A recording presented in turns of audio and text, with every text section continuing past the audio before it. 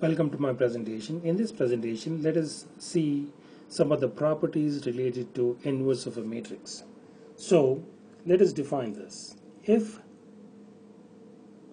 if A is a invertible matrix, if A is an invertible matrix, let me write that. A is a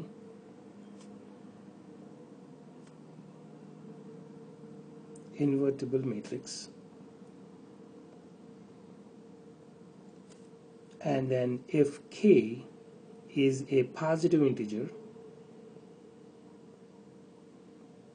and if c is a constant or constant or a scalar quantity then the following properties of inverse are true.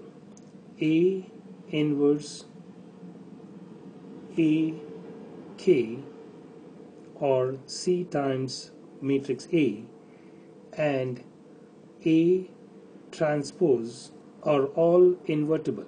These are all can could be invertible. Invertible.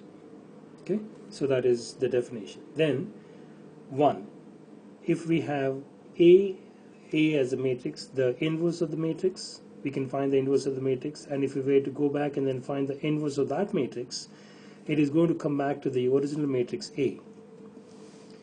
Then the second property is the second property is telling us that if we have a to the power of k and this whole thing is raised to another exponent like that we have seen this in our exponential rules we can expand this one out as a to the power a, a to the power of negative 1 times a to the power of negative 1 times a to the power of negative 1 all the way to 8 to the power of negative 1 uh, to the power of k.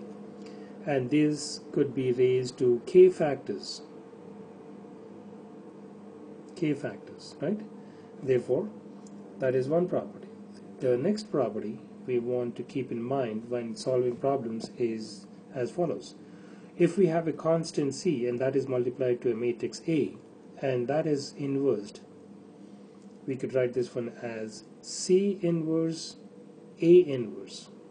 We could also write this one as 1 over C to the power of negative 1 if we have c to the power of negative 1, we can bring it down to the denominator and write it as a positive exponent c to the power of negative 1 or c means exactly the same. So we can write this as 1 over c a inverse like that. Okay, and the next property is if we have uh, A as a matrix and if we were to transpose that matrix we can represent that as AT and then if that is inversed it is the same as performing this operation if we can first inverse the matrix and then transpose it. Whatever elements we have uh, by doing the left hand side of the operation we will have the same type of elements in the final product when we do when we perform inverse first and then transpose it. So these are some of the properties we want to keep in mind going forward to be able to solve some simple problems. So in my next presentation we shall try to see how to use these properties of inverse to solve some simple example problems.